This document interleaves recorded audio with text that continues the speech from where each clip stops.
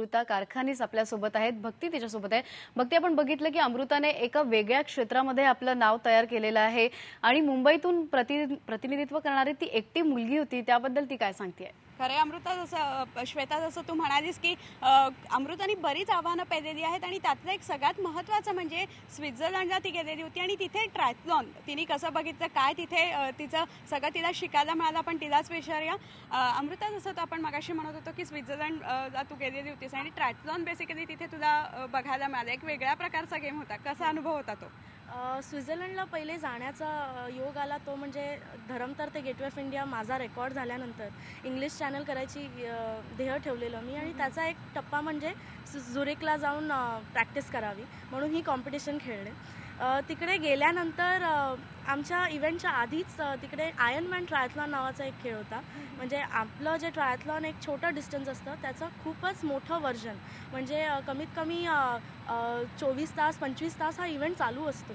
तर अख्ख्या दिवसाचं हे जे त्यांचं रिगरस इव्हेंट आहे बघण्यात वेगळीच एक उत्सुकता होती. म्हणजे लोक सामान्य माणसं आलेली आणि ज्या पद्धतीने ते एनकरेज करत होते आणि ज्या उत्साहाने तिकडे तो इव्हेंट चालू होता. म्हणजे मी इंडियात खेळत होते.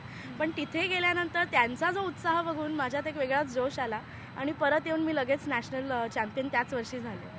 सो एक वेगळा जोश आला ते बघून. म्हणजे इंटरनॅशनली त्याचं जे रेप्युटेशन आहे ट्रायथलॉन ॲक्च्युली हा युरोपियन गेम असल्यामुळे स्वित्झर्लंडला त्याचं खूपच जास्ती इम्पॉर्टन्स आहे.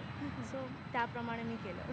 नक्कीच स्वित्झर्लंडला जाण्याचा एक्सपिरियन्स तर तू सांगितलं पण तिथे जाण्यासाठी बरीच मेहनत घ्यावी लागते. किंवा मग भारतातनं जर बघितलं तर तेवढ्या म्हणजे शक्यता आहेत तिथे जाण्यापर्यंत की कसं जा जाता येतं तिथे? ओके मी जसं म्हटलं तसं इंग्लिश चॅनल करण्याआधी एक टप्पा म्हणजे थंड पाण्याचा म्हणजे सराव ह- होण्यासाठी स्वित्झर्लंडला गेलेले.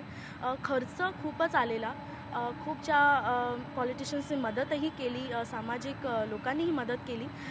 पण असा झाला योग की मी जेव्हा स्वित्झर्लंडला गेले तेव्हा आमच्या इव्हेंटच्या आधीच एक आईस स्केटिंगचा इव्हेंट चालू होता. आणि त्याच्यात वीस फॉरेनर्स डेथ त्यांची डेथ झाली. सो स्वित्झर्लंडच्या गव्हर्नमेंटनी सांगितलेलं की आमच्या इव्हेंटला काहीही रिस्क घे घेऊ श- नकात म्हणून. आणि आमचा इव्हेंट चालू झाला आणि तिकडे स्ट्रॉमचे सिग्नल्स चालू झाले आणि आमचा इव्हेंट कॅन्सल झाला.